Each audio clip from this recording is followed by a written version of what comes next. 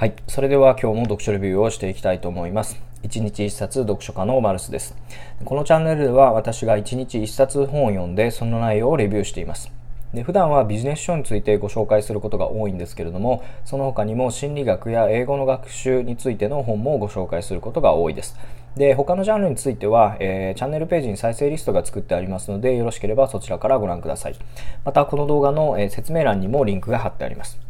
で今日ご紹介する本はこちらのエッセンシャルイエローストーン50というタイトルの本になります。で、この本は、えー、まあ私がですね、このイエローストーン国立公園というところに訪れた際に、まあお土産として買った写真集なんですけれども、えー、非常に美しい、えー、風景がですね、写真で切り取られていて気に入ってる本です。で、えっと、まあ、あの写真集なので、いつもご紹介しているような、まあ、あのビジネス書とかですね、小説とかとは、まあ、もう全然違う種類のものなんですけれども、私個人的にはこう、普段パラパラめくってですね、気分をリフレッシュするのに使ったりしてます。で、イエローストーン国立公園っていうのは、えっと、アメリカのアイダホ州、モンタナ州、ワイオミング州にまたがって、えー、存在しているアメリカの国立公園なんですけれども、えー、私は今アメリカに住んでいまして、えー、一度、えー、行ったことがあります。で、えっとまあ、一番有名な写真はですねあの実は昨日の「世界遺産77」という本をご紹介した時にちらっとあのここの写真が出たんですけれども、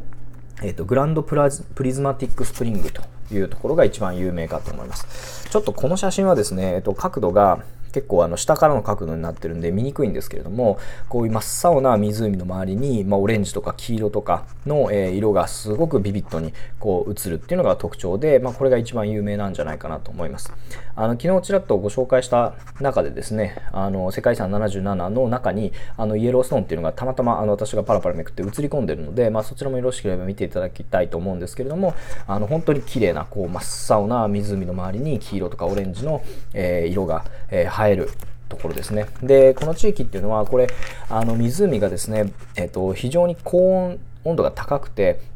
えー、と実はこの辺一帯がですね、あの例えばこう溶岩みたいなもの溶岩っていうんですかね、えっ、と泥がこう地面から湧いて出てきたりとか、え、ー、と、まあ、温泉、間欠泉とかがこう至るとこにあったりとか、まあ、そういった地域なんですね。で、なので、この湖の温度っていうのが非常に高くて、真ん中の部分にはバクテリアが住めないだったかな。で、周りの部分はまバクテリアが住んでる影響で、この黄色とかオレンジに色がついてるということだそうです。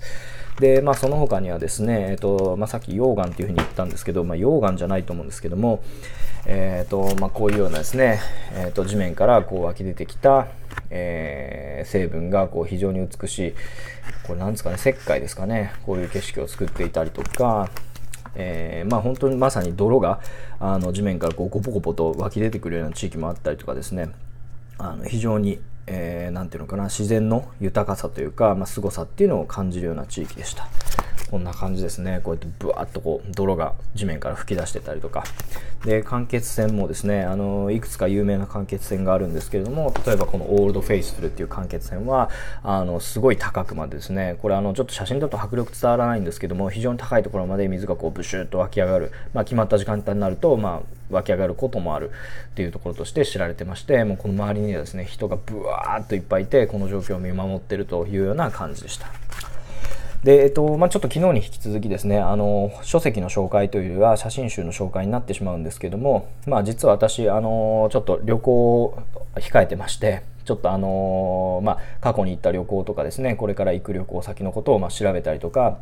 えー、ま整理したりしてる中でちょっと一度ご紹介してみようかなと思って今日ご紹介をしました。で昨日もあの言ったんですけれどもやっぱり旅行っていうのはですねあの人が、えー、まあ新しい経験をしたり、えー、新しいこう発見、まあ、考え方を見つけたりとかですねそういうきっかけとして非常に有効だと思いますので、えー、もしよければですね、まあ、別にこの本を買っていただかなくてもいいと思いますしなかなかイエローストーンに、まあ、行きますっていうことは難しいと思うんですけれども、まあ、何かこう旅行に行ってみたいなとかいいなというふうに思っていただける方がいればいいなと思って今日ご紹介をしました。